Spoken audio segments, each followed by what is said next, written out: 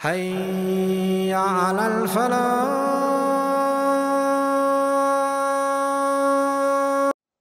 But on Judgment Day, there are people holding their book in their right hand, and people that fail are holding their book in their left hand behind their back.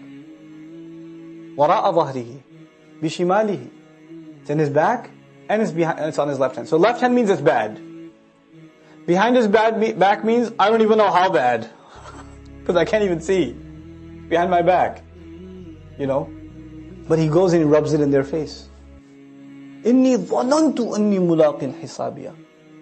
This is the yes moment when you get your report card. You get a good report card, you say, I knew it! Ooh, yes! Oh yeah.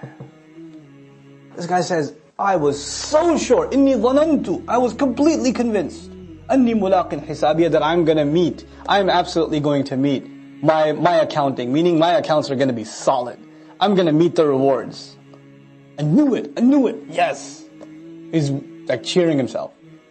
Now the thing is, we saw in Surah Al-Tahrim, three surahs ago, we saw people that are, that have light, light coming out of their chest and in their right hand, and they're walking. And are they fully confident or nervous? Do you remember? They're nervous. رَبَّنَا أَتْمِمْ لَنَا نُورَنَا وَاغْفِرْ لَنَا Allah, complete our light, let us through.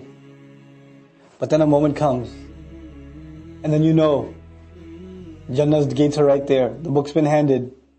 You're okay now. And he goes, I knew it. Ah, oh, it was gonna be awesome. But you know what? That, that, you know how they say in, in modern literature and poetry, they say things like, you know, the, the time is gone. Those, those days are gone. They're all just a fading memory now. But to Allah, those days, the ones that are gone for you, are eternal for Allah Azza wa Jal. He recorded your deeds in those days, and those are the fruits you're eating now. وَأَمَّا مَنْ أُوتِيَ كِتَابَهُ بِشِمَالِهِ And as for the one, whoever he was, handed his book in his left, فَيَقُول Then he says, يَا لَيْتَنِي لَمْ أُوتَ كِتَابِيَهِ Oh, come on. No, no, no, no, no. If only I wasn't given this, my, my book. Please don't hand it to me. Please don't hand it to me. Why do I have this book in my hand? This guy is regretting getting his book in his, he's, we're not even talking about punishment yet. We're not talking about punishment. We're just talking about getting the book in his possession. I wish I wasn't given this book. وَلَمْ أَدْرِ مَا حِسَابِيَا I wish I never knew. I had no clue what account I'm going to have, because now he has some clue what's coming. Ya laytaha kanatil qadiyah. Oh, if only, if only the great, the death itself, al-mautat al-ula, the first death, if only that was the end of it all. I wish that I died and never came back to life. My wealth, maliyah. This again, the high is extra. My wealth did nothing for me here. Gave me no benefits here. I can't pay any fines and get out of the ticket. I can't pay off any guards in, hell, uh, in hellfire and get out. None of my wealth came to any aid of me. And the other ma could be, what good was my wealth? How did it benefit me? Halaka anni sultaniya. My great authority. So this person is not just wealthy, he's powerful. All the power I had, all the status I had, has been ripped away from me. And I want to explain to you that actually the verb expected in this ayah was ذَهَبَ عَنِّي سُلْطَانِيَا My authority has been removed from me. ذَهَبَ عَنِّي But Allah uses the word هَلَكَ عَنِّي It's not just removed, it's killed, it's taken, it's torn away. None of it is left. Something that's removed can be recovered. Something that's halak can't be recovered. خُذُوهُ فَغُلُّوهُ Take a hold of him. Grab him. And chain him up. غُلُّوهُ Put a lock on his neck. Put those fetters on his neck. You know, back in the day, if you've seen any images or heard stories about how slaves were kept, with those collars around their neck, غُلُّوهُ You know, they say غَلَّ فُلان أو غُلَّ فُلان في كذا يعني دخل فيه وأدخله منه والغل هو القيد Put him in the prison. غل also means qaid, prison. And he's thrown inside. ثم الجحيم Then after that, into Jahim, the roaring fire. صلوه, throw him in. ثم في سلسلة Then after he's thrown in, he's got this, this fetter on his neck, this collar on his neck, put, put a chain on it. ذَرْعُهَا سَبْعُونَ ذِرَاعًا Whose links are 70 links long. He's been thrown from above, so where's the chain coming from? From above. And he's hanging by this chain in the fire. فَاسْلُكُوهُ Then keep him tied and keep him connected. إِنَّهُ كَانَ لَا يُؤْمِنُ بِاللَّهِ الْعَظِيمِ He was the one who didn't believe in the great Allah.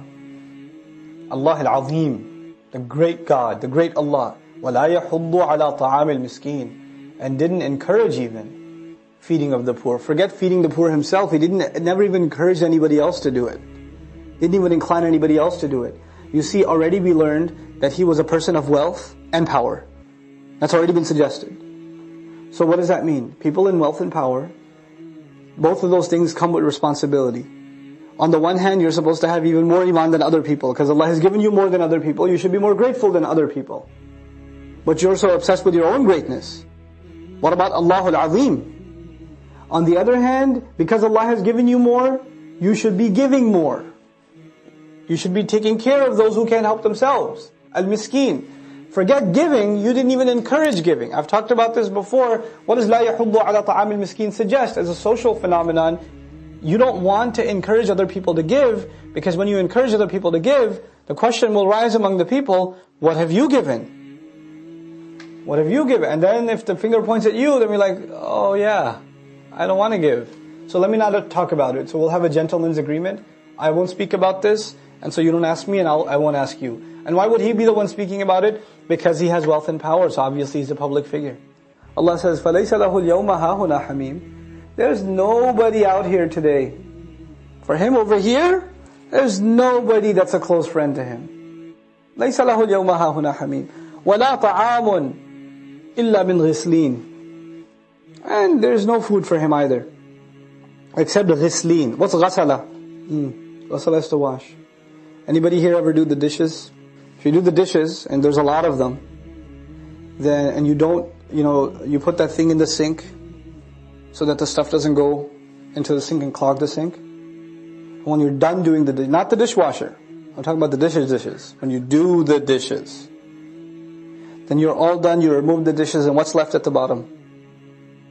That gunk that you look at and go, Bleh! that gunk, that's ghislin. Ghislin is the leftover after washing. Either food or clothes, the, you know, the, the, the dirty water left after wa- clothes are washed. So, you know, mother's cleaning the filthy clothes of her children and the, the, the dirty water's going into a bucket, that's ghislin. The leftovers from the wash. That's his food. وَلَا طَعَامٌ إِلَّا مِنْ غِسْلِينَ لَا يَأْكُلُهُ إِلَّا الْخَاطِئُونَ Nobody's going to be eating this except people that made the grave mis- the people of grave mistakes. Khati'un, the mistake makers. Assalamu alaikum wa rahmatullah. If you enjoyed this video, please do share it with friends and family. If you want to see more videos from this series, click on the box at the top. If you want to see other videos, click on the box at the bottom. And don't forget to hit the subscribe button. Thanks.